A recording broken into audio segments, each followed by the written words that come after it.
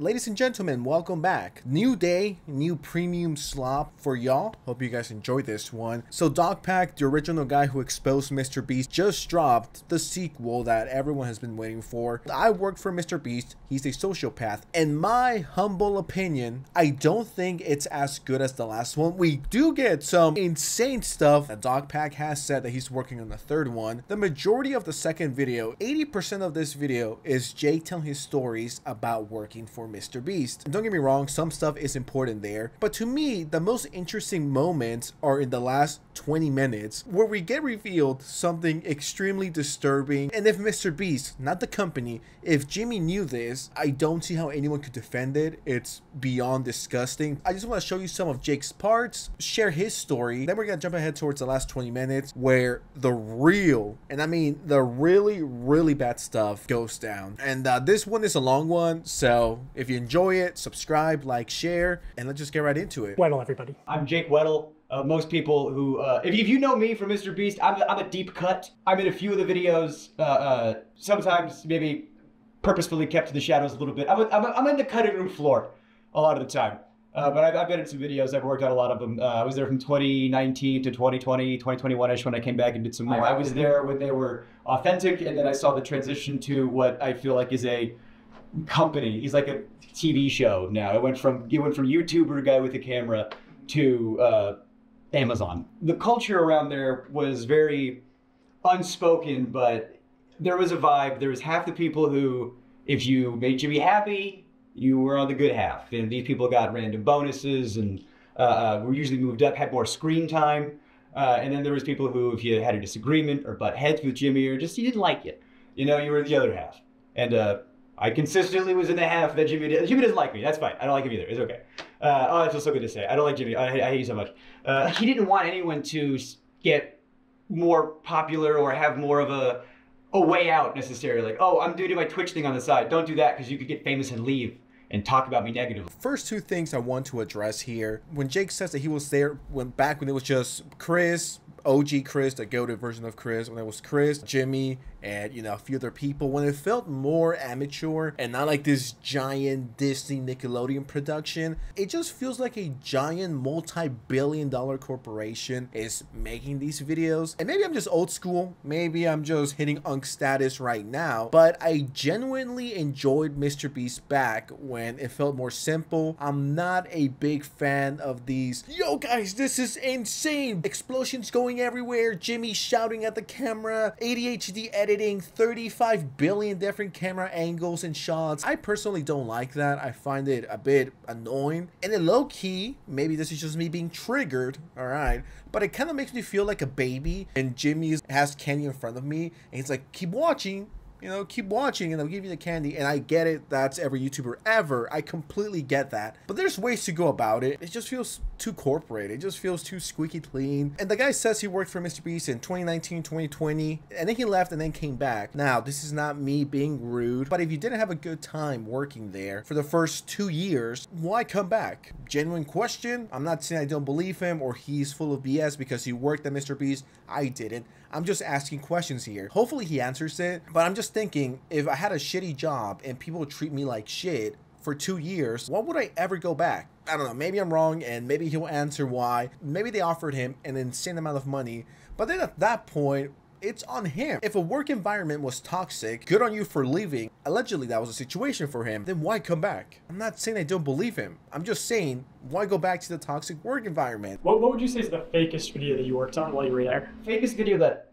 I worked on while I was there. This is the extent of the, the fakeness that I was involved to. This is like admitting to my complicity. I was a writer there, and we were working on a video. Uh, crushing my friend's car with a rock or meteor or uh, something. It was, it was a rock or a meteor in the title of it. I can't remember, but he wanted to do a prank where, unbeknownst to the person, he takes a rock, crushes their car, and they're supposed to think a rock came out of space. We're gonna take a meteor and we're gonna put it on Weddle's car. We're gonna take another meteor and put it on Marcus's car. Both of them have no idea that we're doing this. Weddle and Marcus are probably shocked. They had no idea.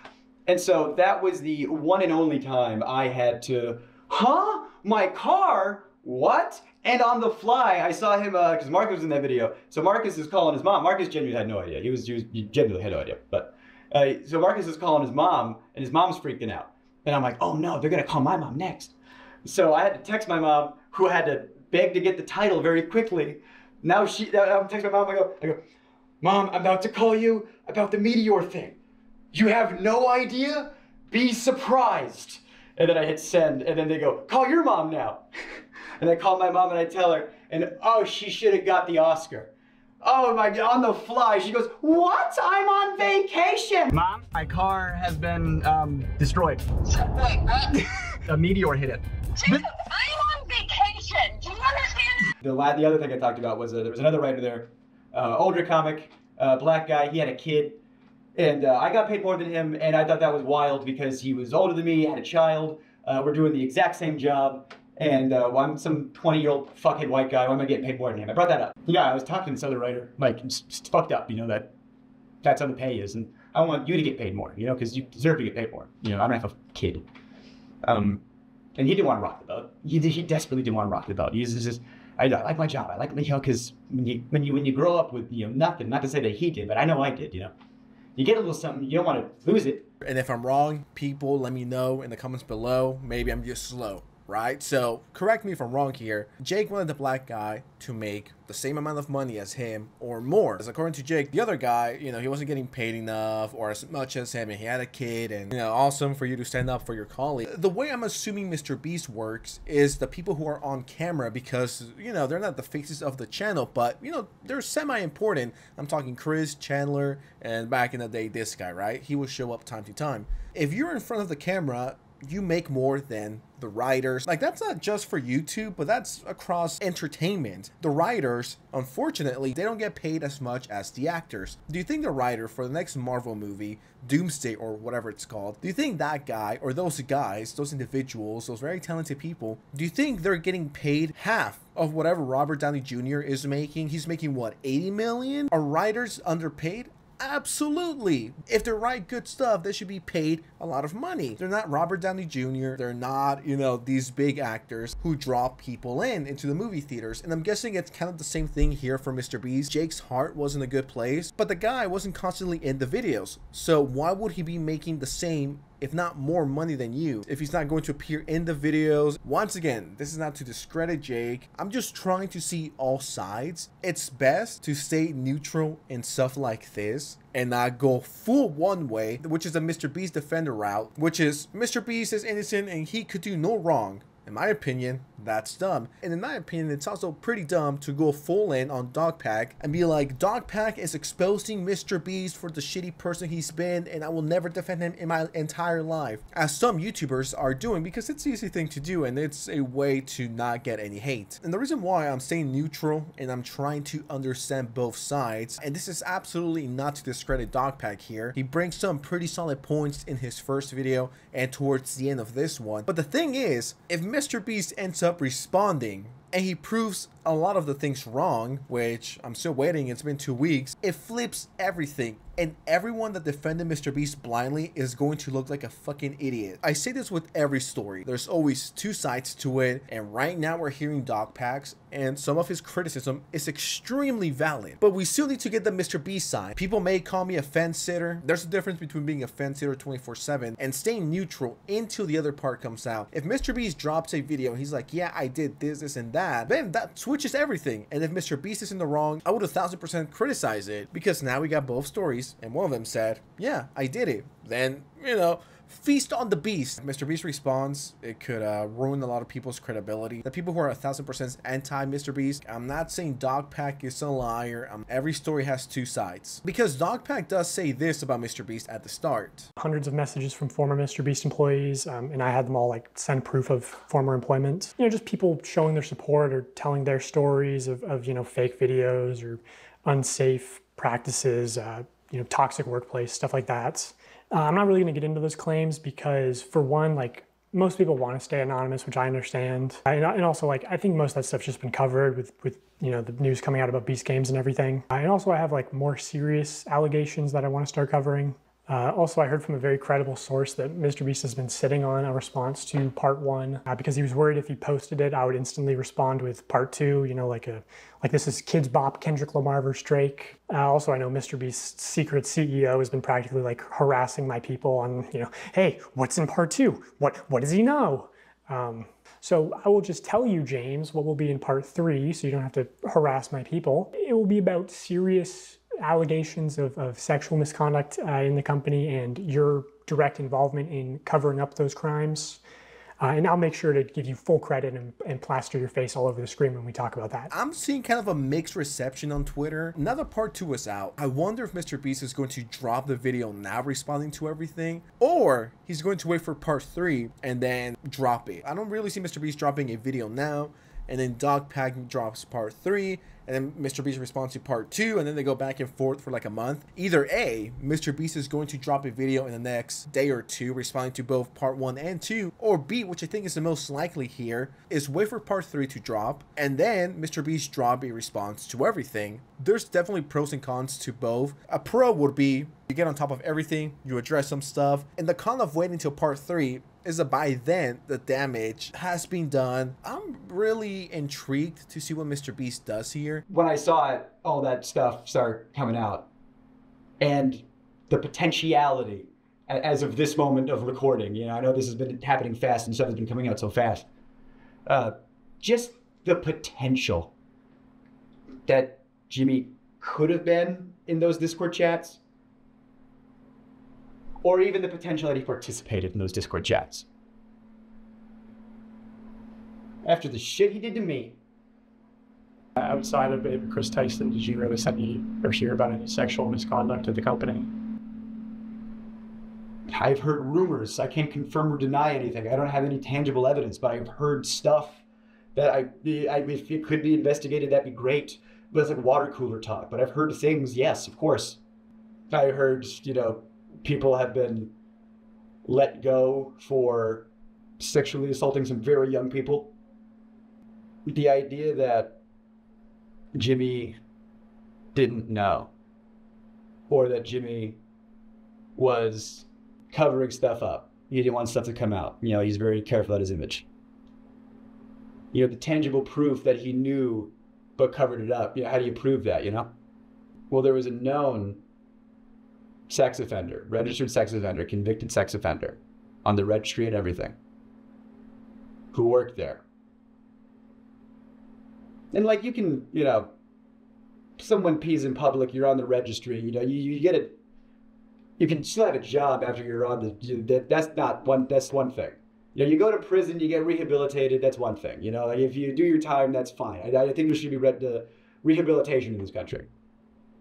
But that guy, from what I hear, I, I can't confirm or deny. From what I hear, he's on the registry for doing some not great stuff to some underage people. So yeah, this is what I'm referring to. The ending being the best part. Once again, to the people in the back, I'm not here to discredit Jake and his feelings and his emotion and his story. And it's good that he finally got it out of his system. If this turns out to be true, if Mr. Beast the company or if Jimmy hired this guy, and I have who it is, uh, and it's public, I'm not leaking anything, I honestly don't see how anyone could uh, defend this. So the Internet Anarchist said, Mr. Beast allegedly has a sex offender in his company who targeted a victim between the ages of 1 and 11 years old. So he pulls up this so he okay i don't know what's taking so long my internet fucking sucks okay so he pulled up the record uh risk level tier 2 moderate risk April 21st, 2010. And please pay attention to this bottom part, all right? It stands for Delaware. Then the internet anarchist says Chris Tyson gave us a hint. It's Jake the Viking's brother-in-law. Jake the Viking is a former Mr. Beast crew member. Chris says, Never ask Jake how he protected his kid or his family from his bro-in-law. And Chris Tyson responds with, Who you keep in your company describes a lot about you. And Chris Tyson shows this screenshot, and it's literally the same R word, four degrees sexual intercourse, victim less than 18 years old. Victim's age 1 to 11, state Delaware. This is massive. Some may say humongous. Okay, I'll stop. This is kind of serious. They're calling my brother-in-law slash manager Delaware, and because that's his name. And here's the crazy part. If Mr. Beast knew, not the company, if Jimmy knew about this and he still hired him just because this was Jake the Viking's brother-in-law, I don't see how anyone could defend that. He's working at a channel that has underage people on and around and is targeted to underage people. And they covered up the fact that not only did he work there, but he was like the manager when it all started. And you know that he knew, and because he'll be in videos, he'll be in thumbnails, he's, he'll be around, and whenever he, he, he is, he's wearing a mask. Why would you wear a mask? Why would you conceal your face? It's like, you, what, what are you concealing? That you are a registered sex offender? And that your face could be looked up on a thing? How much more can you literally cover up a sex offender with a physical mat? Like, do I have to? Is, how, is it more on the nose? Delaware. Yes. I need everyone's phones. I want them all to FaceTime their family. All right, everyone. It's time to FaceTime your family.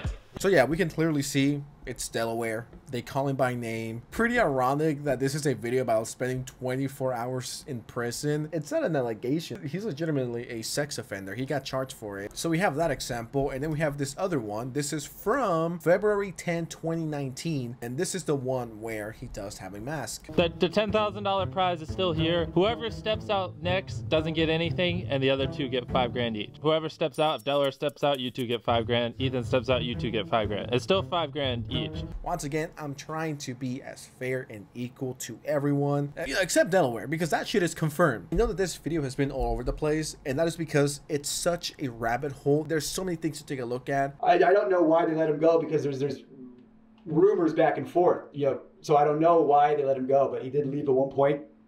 Even if that guy didn't do anything, they still knew about it and he was still around. And what if he's one of the people in the Discord servers? What if he's not? I don't know. But when I was there, they called him Delaware. It's like, why, why, do you, why do you call him Delaware? I didn't, I didn't know. Apparently, they called him Delaware because he's not allowed to go back to Delaware. That's his nickname? Colloquially? Like, you know, yeah, it's Delaware. Don't ask him why, you know? The fuck? And Jimmy knew about it?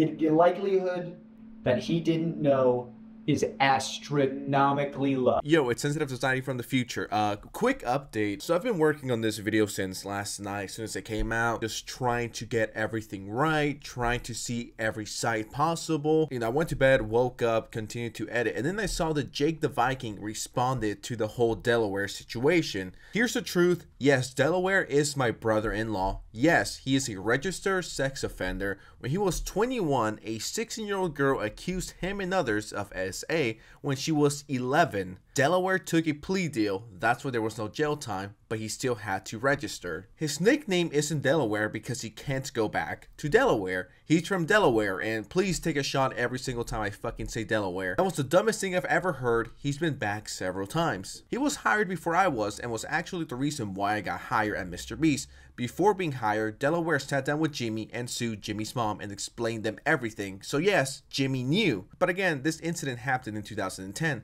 Delaware was hired in 2017, 2018. Delaware was also let go from the company before I was. But in my opinion, uh, if that was my company and if I ever have a company, I will never in a million years hire a registered sex offender who did something to an alleged 11 year old. So this confirms that Jimmy knew. If that was my company, that was my brand, and I'm making content for younger people, there's no way in hell I would ever in a million years hire a registered sex offender, period. I mean, at that point, Jimmy might as well hire EDP to take care of the bakery. You know what I mean? It's so fucking over once Rolling Stone starts writing their articles about it, once, you know, all these big corporations talk about it. Jimmy knew what he did and he still gave him a job. What this guy Delaware did was a lot worse because at least Chris Tyson, not here to defend Chris Tyson, but as far as we know, didn't actually had intercourse with a minor. Unlike Delaware, he harmed a child,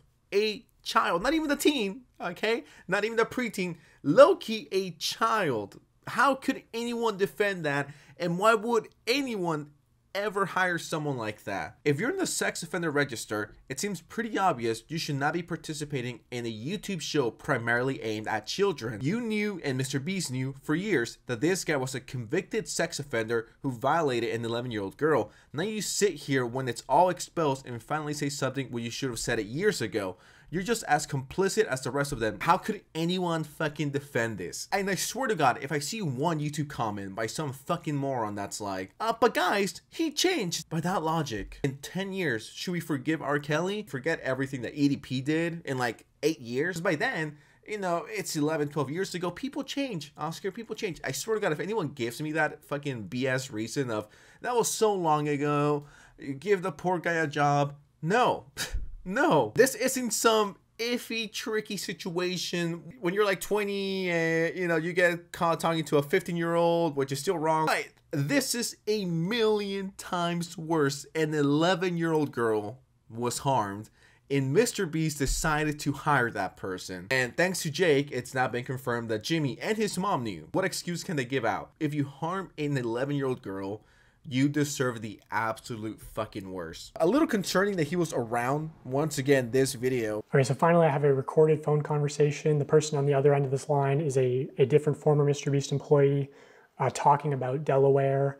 Um, also, apparently, before this phone conversation got recorded, the person on the other end of the line said that the Mr. Beast team was actually trying to expunge Delaware's record uh, off the registry, and that's what actually like sparked this person to start recording.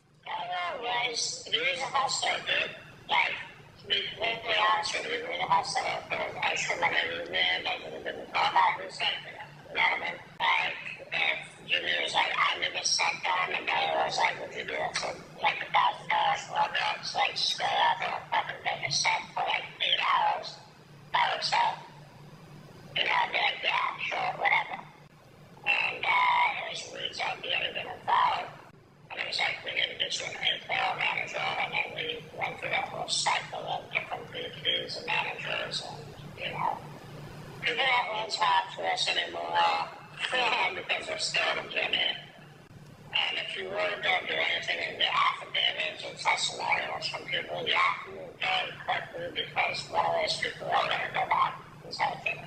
Okay, so Reed is Mr. Beast's former manager who was in the last video telling Jimmy, you know, hey, don't promote gambling to children. Uh, so, you know, I think I think Reed's taken uh, two W's this month. You know, uh, don't promote gambling to children and uh, don't have offenders on payroll. Also, yeah, just from where I'm sitting, it seems extremely unlikely that Jimmy wouldn't know. But you know, I know that that's I'm sure that's the defense he'll go with. The fact that that sexual predator was involved in some way or another, that's extremely concerning. That should be the highlight of this video. In my opinion, the interview with the former Mr. Beast employee should have been his own separate video. And there's so many twists and turns. That's why I'm not being like, this is definitive. It's best. You sit on the sidelines, make your video, and don't treat this as a fucking sport and a team. I'm rooting for Dogpack. I'm rooting for Mr. Beast. This is not a fucking sport. In times like these, it's best not to have a horse in the race. Just when you think it's over, nope. We're, gonna pull you right back in. With that said, what do you guys think of the situation? Please let me know in the comments below. I'm shocked. I do feel bad for Jake and the conditions in which he was treated. Do I think Jake is a, you know, fucking crybaby cloud chaser? No, I don't think so. I think he was asked, or he asked for his story to be told, and it was told. A lot of questions remain unanswered, and hopefully Mr. Beast has the balls to respond to this. Anyways, this video is way too long. You know, thank you so much for watching. Let me know your thoughts. W, L, whatever you guys think. And don't forget to subscribe, like, share, uh, and, you know, whatever happens, I'll keep you guys updated, alright? Peace out. Bye.